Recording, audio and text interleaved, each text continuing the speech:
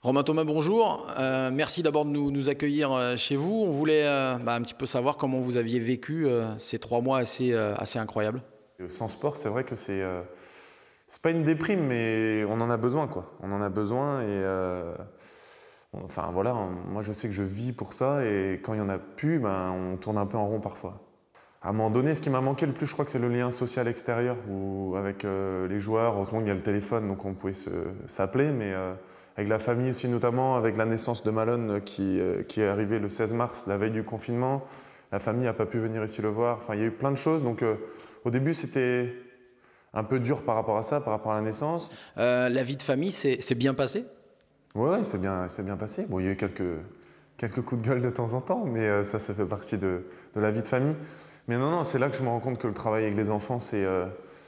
ouais, L'éducation, c'est un vrai métier. Quand tu es tout le temps avec les enfants, c'est euh, la patience. Et, euh, je pense que ce qui fait défaut à tout le monde, c'est la fatigue à un moment donné où, où tu satures. Quoi. Pendant ces deux mois, il n'y a pas eu de, on va dire, de dépression ou de déprime par rapport à l'absence de football? Ça manque. Ça manque parce que l'adrénaline de la compétition, des matchs, des entraînements, euh, le contact humain au vestiaire au quotidien, c'est là que tu vois que même l'après-carrière, euh, c'est ça que je me disais, quand il n'y a plus, il n'y a plus. Quoi. Et euh, bon, c'est pour ça qu'il faut encore profiter de, ces moments-là. Mais je ne sais pas s'il y a une dépression, mais il y avait un, gros manque, ça c'est sûr. Et euh, c'est pour ça que je pense que je m'envoyais des séances au quotidien, parce qu'il fallait que je transpire et que je me, me fasse violence et mal un petit peu. Est-ce qu'il fallait absolument arrêter euh, ce championnat ou alors continuer comme l'ont fait les Allemands, les Espagnols euh Stopper, c'était pas mon idée, stopper, parce que ça fait des malheureux. Aujourd'hui, il y a des, joueurs, des, amis, des copains à moi qui, qui descendent en Ligue 2 et, c'est sûr, il restait 30 points à prendre. Même, même pour nous, on avait, enfin, je me disais qu'on pouvait terminer encore un peu plus haut. Enfin, tout ce que je commence, j'aime bien terminer. Donc c'est pour ça que je pense que ça aurait été bien de décaler. Après, ils ont décidé, euh, ils ont décidé ainsi. Donc c'est comme ça, mais aujourd'hui, c'est sûr que ça fait, des, ça fait des malheureux. Moi, je suis pas malheureux aujourd'hui parce que je suis encore en Ligue 1, mais il faut, faut penser aux autres aussi. Donc, euh, Vous avez hâte de retrouver l'ambiance euh, de Raymond Coppa? Oui, ouais, ça manque. Ça... Le, match, le dernier match qu'on a fait le 6 ou 7 mars, enfin début mars contre Nantes, j'ai l'impression que ça fait. Et pourtant, on avait vécu de belles, de belles émotions et sensations. Mais oui, à un moment donné, il est temps de reprendre parce que c'est, on est, enfin, moi je suis programmé pour ça. On a, on a faim de, sport et enfin fin de, de, bah, de, partager des moments ensemble. Alors j'espère que on va avoir droit au public et partager ça ensemble. Il n'y a pas du foot avec ou sans Covid? Bah, euh, Ce qui va me faire repenser au Covid, c'est que si je vois des stades vides, ça va faire bizarre, je suppose, mais euh, ce sera l'avant, la mi-temps, l'après-match qui va te refaire penser au virus. Après, c'est pareil, si les séances d'entraînement sont par petits groupes, j'espère pas au 1er juillet qu'ils vont repartir là-dedans, c'est sûr que ça va te faire penser au virus. Mais euh, à partir du moment où il y aura des, oppositions, moi, on va pas pouvoir me dire, Romain, tu restes à un mètre de ton attaquant parce que bah, il va se tourner, il va, il va marquer. Quoi. Donc, euh, non, non, ce sera, ce sera oublié. Ce sera que les à côté et tout l'entourage qui pourra me faire repenser à ça.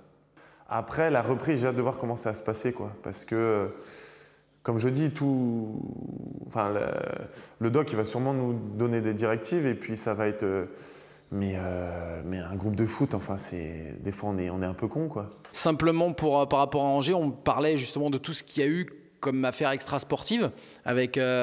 D'abord le président, Saïd Chaban, on a vu le départ d'Olivier Piqueux qui a surpris tout le monde. comment le groupe il l'a vécu? Comment vous, vous l'avez vécu surtout?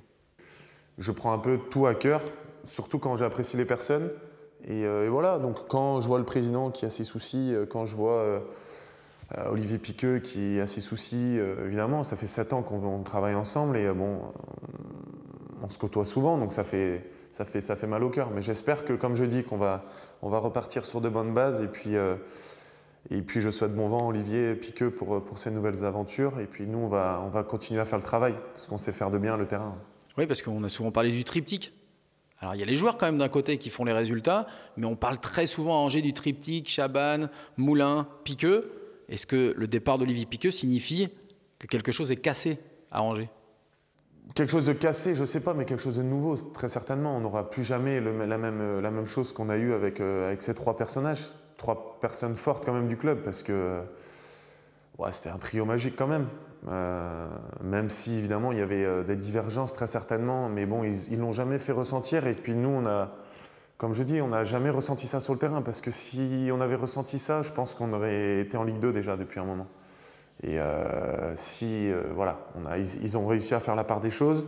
Heureusement qu'au début, ils s'arrangeaient bien tous ensemble quand même. Mais bon, voilà, après, ce sont les aléas du foot. Et puis, comme je dis, moi, je suis simple joueur.